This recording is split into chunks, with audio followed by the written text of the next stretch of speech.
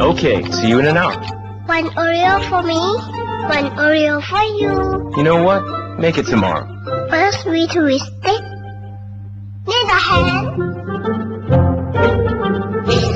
then the kid. now donkey.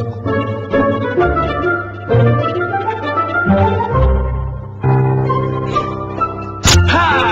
I'm gonna eat you up!